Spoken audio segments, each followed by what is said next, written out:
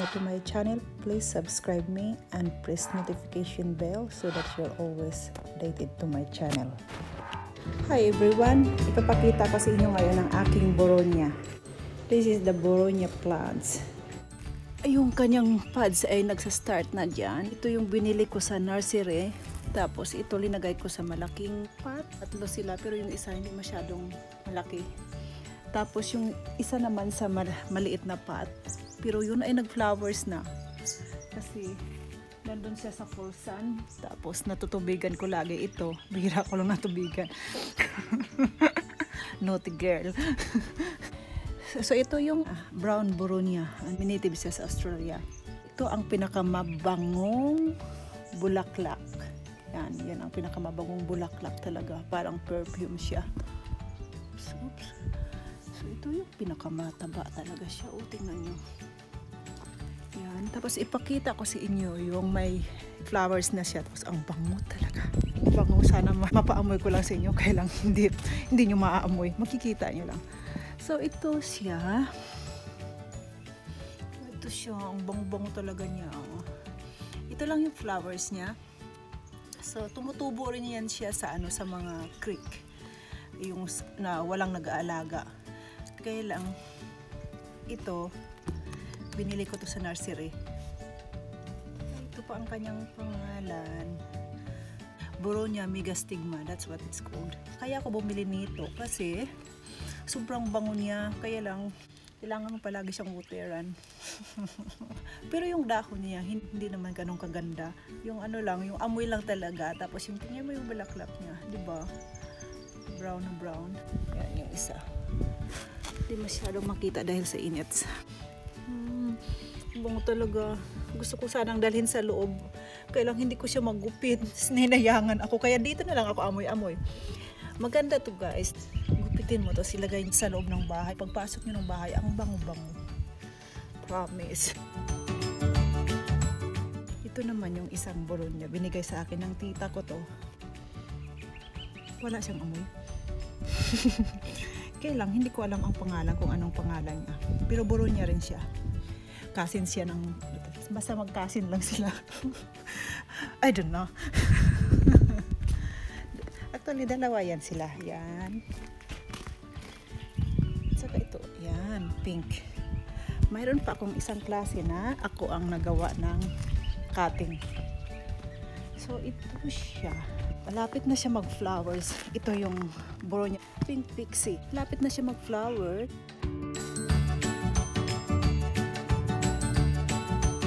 Gusto ko yung amoy nito parang mentol. Yung kanyang kahit dahon lang siya. Gustong gusto ko yung amoy. Pero yung iba, ayaw nila ng amoy. Sabi nila matapang daw. Pero ako gusto ko, lalo pag diniligan mo siya, maamoy mo yung dahon niya. So, ako nito ang naggawa ng cutting ko. Tapos, nilagaan ko lang. Tapos, transfer ko na dyan. Yun, ang laki na nila. Yan. Magto 2 years na yan sila. Magto 2 years na. Yan. Tapos, yung iba, linagay ko sa creek. Ini-experiment ko kung saan mas maganda ang tubo, kung sa creek or dito sa bahay. Pero yung sa creek, buhay naman siya. Hindi ko man lang tinubuigan.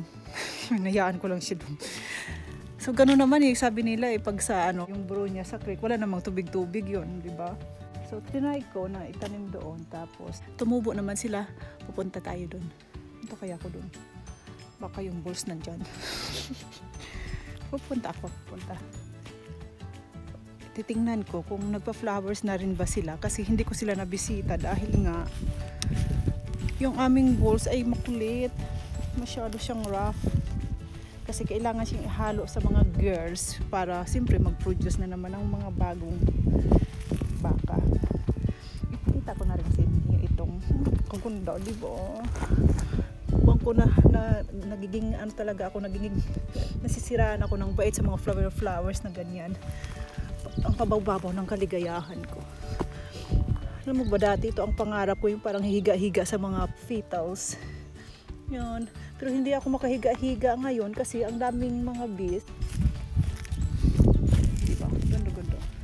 Makisali ako sa sa flowers para gumanda na rin ako.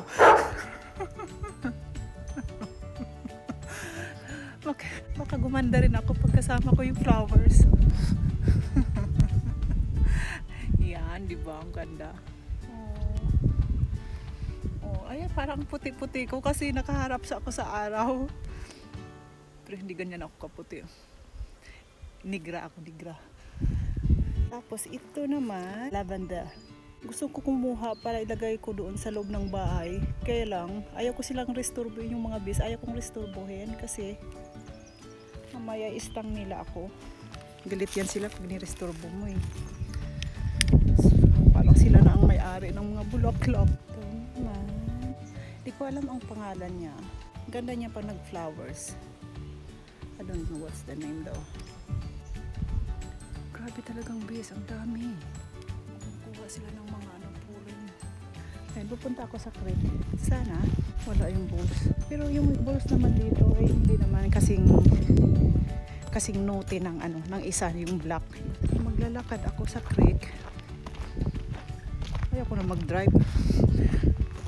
Ganda na rin yung exercise exercise ko na to. Basta wala lang yung balls. Takot ako sa sa balls eh.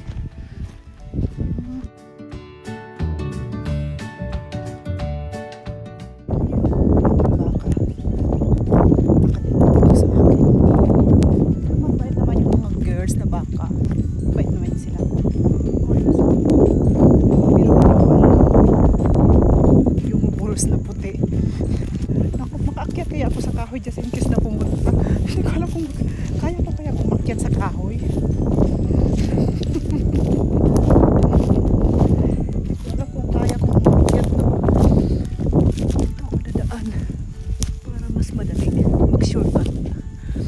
Mag-shortcut ako. So ito guys, yung aming creek. Yan ang aming creek. Yan ang aming creek. At just in case na yung bulls talaga ipapunta dito, talagang aakyat ako dyan. Yan. Akyat ko naman siguro yan. Siguro. Kung talagang pupunta, pero hindi naman siguro.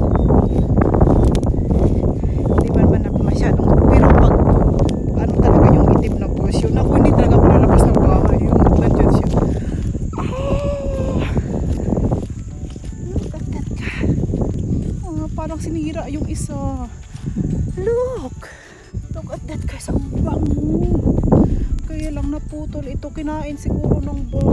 Mas maraming ano dito, yung bulaklak kaysa yung doon sa bahay. So mas hiyang sila.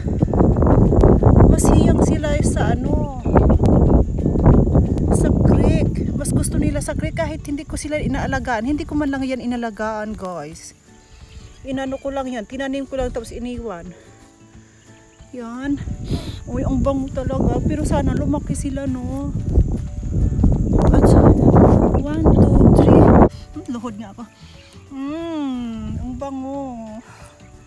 Sana lang guys, ma-share ko sa inyo yung bango para alam nyo. Talagang ang bango. Para ako nalulupa-lupa sa mga flowers-flowers ko ah. Talagang kinain nila oh.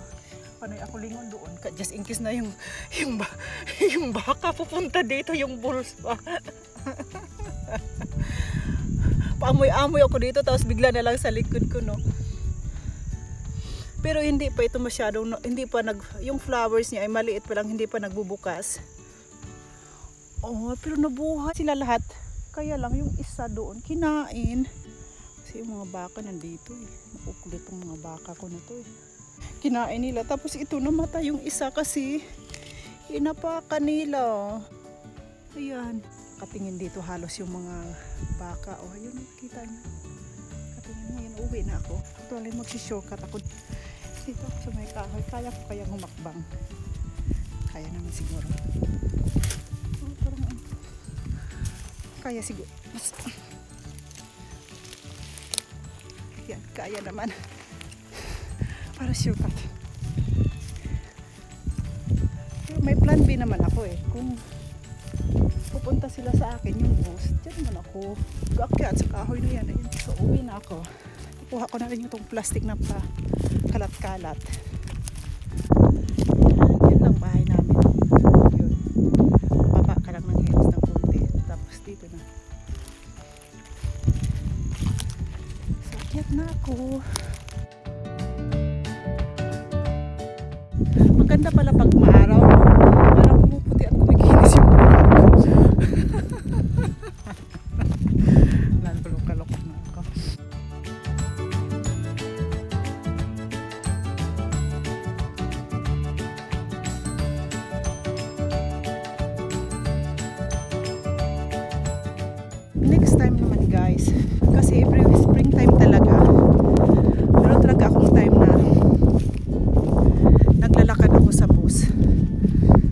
Tapos picture ko yung mga ano, yung mga yung mga flowers, wildflowers. Ganun. So next time yun naman ang abangan nyo yun kung gusto nyo yung mga flowers. Pero si Mama po ang kiligayahan ko kahit nakikita ko na siya every year. Ganun ako. Maglalakad-lakad pa rin ako tapos picture-picture. Pero dati, pinopost ko lang sa Facebook. Ngayon, sa YouTube niya. Ay, hingal ako. Kailangan ko na yata mag-exercise palagi. Ito ako, papasok sa likod.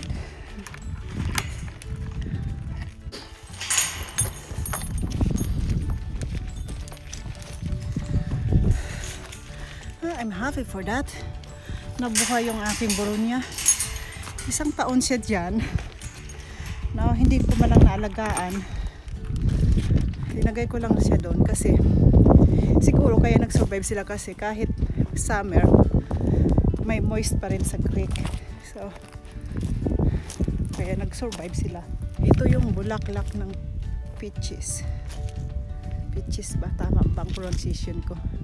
I'm not really good in pronunciation. Lagi akong kinukorek ng aking mga anak. Ayan.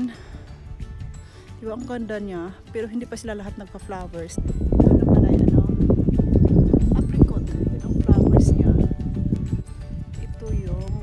sa plum na ano, flowers. So, yan lang guys ang mapapakita ko sa inyo. Buro niya lang dapat pero kung saan saan pa ako napunta. Mas, masyadong na-excited sa flowers. Please don't forget to leave comment and like. Thank you for watching. Bye for now and we'll see you again.